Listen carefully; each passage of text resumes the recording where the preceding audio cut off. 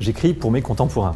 Et c'est l'intérêt de la littérature, c'est qu'on écrit pour les gens d'aujourd'hui, pour leur parler de nous, d'eux et de notre époque.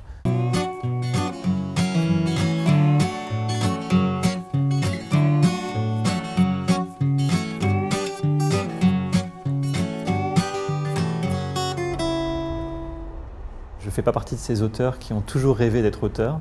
L'écriture est venue en fait presque par hasard. J'ai de la chance quand même de réussir à écrire dans les trains. Moi, je rentabilise ce temps euh, en bossant et je, travaille bien hors du silence. Je suis assis mais dans le mouvement, ça me va parfaitement.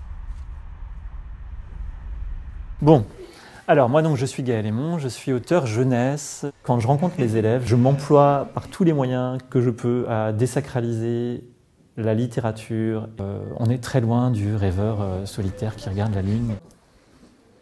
Alors qui c'est qui commence? Qu'est-ce qui t'a motivé pour écrire des livres Moi, j'avais plein d'histoires dans la tête. Et je me suis dit, mais attends, mes histoires, elles pourraient ressembler à des livres pour les enfants. Donc j'ai envoyé mes histoires à des éditeurs.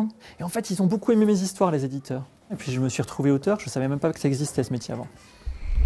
Comment fais-tu pour inventer et écrire une histoire? L'imagination, c'est un muscle. C'est ça le secret des auteurs, en fait. Si je m'en sers pas, il n'y en a plus. Si je m'en sers, ben, mon imagination, elle grandit, elle va pas s'user.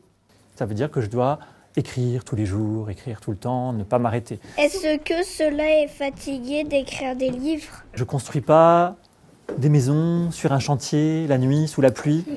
Tu vois, il y a des métiers plus fatigants quand même. Hein.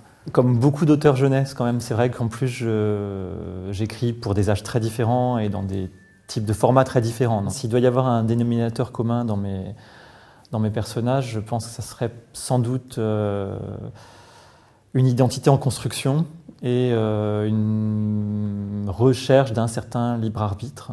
Le héros d'Oublier Camille ou le héros de Golden Valley, qui sont des romans pour ados ou, jeunes adultes euh, auxquels je suis plus particulièrement attaché, ou le prince de personnages à les trois ogresses.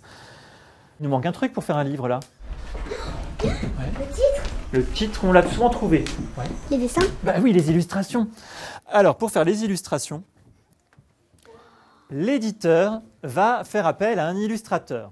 C'est pas le dessin fini, en fait, c'est un brouillon pour montrer à quoi ça va ressembler. Alors là, c'est un brouillon quand même assez bien fini, hein. honnêtement. Euh, j'écris pas en pensant à un ado, mais il y en a où je me dis, mais lui, pour ce livre, euh, et, et, qui vient vous dire qu'il a pleuré, qu'il était bouleversé et tout ça. Bah, et je, trouve que ce partage qu'on peut avoir avec d'autres êtres, êtres, humains, et en plus qui ne sont pas de la même génération, d'un bien culturel, enfin de quelque chose, et, laisse beaucoup plus de traces, même non dites, et, que ça suffit après, moi, à me dire, bah, voilà, ça justifie pour moi ce que je fais.